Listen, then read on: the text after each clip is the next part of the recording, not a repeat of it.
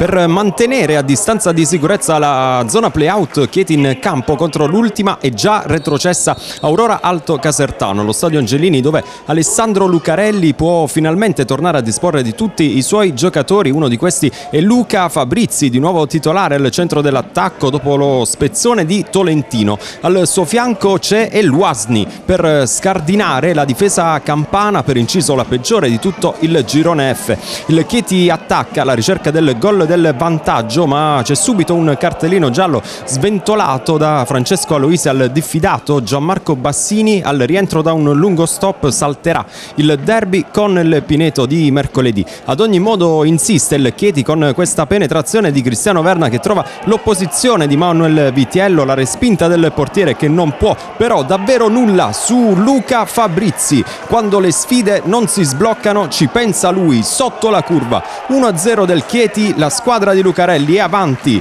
La gioia di Fabrizi in un incontro non così semplice come indicherebbe la classifica il tentativo ad opera di Francesco D'Innocenzo anche se l'Aurora Alto Casertano si propone spesso soprattutto sulle fasce qui un autentico prodigio di Forti sulla girata di Lepri quasi allo scadere del primo tempo Campani per nulla arrendevoli e che con le immagini di Alberto Capo provano ancora ad affondare costringendo così Forti ad intervenire una seconda volta sul fronte opposto il tentativo ad opera di Manfredo Pietrantonio che centra la traversa. Pietrantonio che dopo l'intervallo era entrato in campo al posto di Bassini. Ma serve un altro gol. Al Chieti per eh, correre rischi lo sa bene anche Fabrizi che prova a mettere il lucchetto alla partita con questo colpo di testa indirizzato sul palo alla destra di Manuel Vitiello. Tutto semplice quando il pallone raggiunge il bomber del Chieti. L'ennesimo sigillo per un attaccante completo che vede la porta come pochi. 2-0 ad un Aurora Alto Casertano che però non si arrende. Mancino vuole il gol la sua squadra a testa alta sempre a caccia del 2-1 che non arriva nemmeno sul colpo di testa di Mema. Quindi El Wasni nel contropiede del Chieti che fallisce il gol del 3-0 ma può bastare così. Il Chieti ottiene una vittoria fondamentale contro un buon Aurora Alto Casertano. I neroverdi allo stadio Angelini si impongono 2-0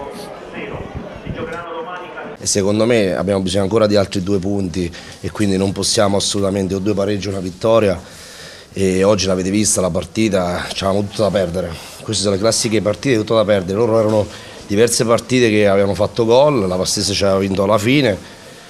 E quindi un po' di apprensione, forse potremmo giocare un po' più tranquilli, tra virgolette, anche se noi è meglio che non ci stiamo tranquilli, eh, però credo che c'è bisogno almeno di altri due punti almeno almeno per poterci salvare. Ecco. Sì, lui ha saputo cogliere l'occasione, l'altra partita mi sembra in casa, non, non, adesso non ricordo con chi, ha fatto una buonissima partita a Tolentino, ordinato, disciplinato, piano piano sta entrando sempre di più nella mentalità, ha fatto un bel percorso pure oggi, secondo me una buonissima partita e di questo siamo solo contenti, quindi lui anzi se lo merita perché dall'inizio è stato sempre con noi, un po' ai margini, però sempre nel campo di allenamento a dare il massimo, quindi è un giusto premio per un ragazzo che comunque ha delle qualità e deve solo adesso lavorare e mantenere i piedi per terra perché è fondamentale che questi ragazzi mantengano tutti i piedi per terra.